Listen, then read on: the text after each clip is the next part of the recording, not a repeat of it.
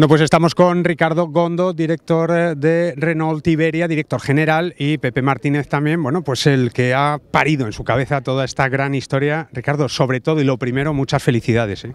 No, muchas gracias a vosotros, a la Real Federación, por nos dar esta oportunidad de participar y de crear juntos este, este gran evento del golf eh, amador en España. Eh, Ricardo, qué importante es que una empresa, que una marca de tanto prestigio como Renault entre en un sector, en un mundo, en el deporte del golf otra vez. ¿No? Bueno, nosotros estamos presentes en varios esportes, principalmente ligados al esporte a motor, pero uh, aprovechamos esta nuestra experiencia con el esporte también, ahora que estamos lanzando coches como esta, la nueva Space, el Kajar, para ir más allá. Entonces estamos eh, buscando esportes que tenemos afinidad, que tenemos valores, y para poder uh, estar cerca de nuestros clientes, de demostrar todo lo que hemos hecho en términos de design, en términos de tecnología, todo lo que hemos uh, uh, criado con este, para estos nuevos coches. Uh -huh. Esto es una gran oportunidad, yo creo, para estar cerca de, de, este público, de estos clientes potenciales. Bueno, tiene un año, Ricardo, para jugar uno de los torneos. ¿eh? Va a empezar a jugar al golf, Pepe.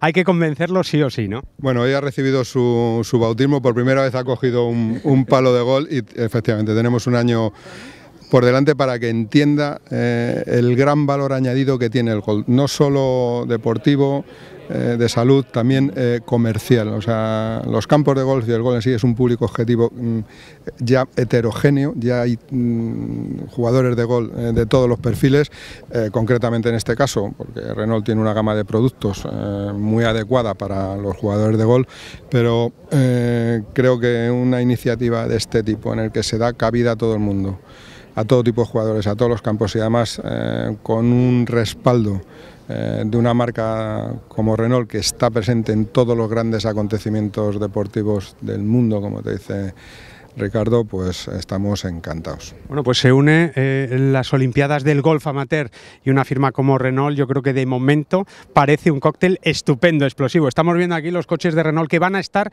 en todas las citas, en todos los torneos de estas Olimpiadas de Golf. Pepe, muchas felicidades y a ti también muchísimas felicidades y gracias por meterte otra vez y meteros otra vez en el mundo del golf, que no os vais a arrepentir seguro. Muchas gracias. Gracias a vosotros. Gracias, Pepe. Gracias a vosotros. Gracias.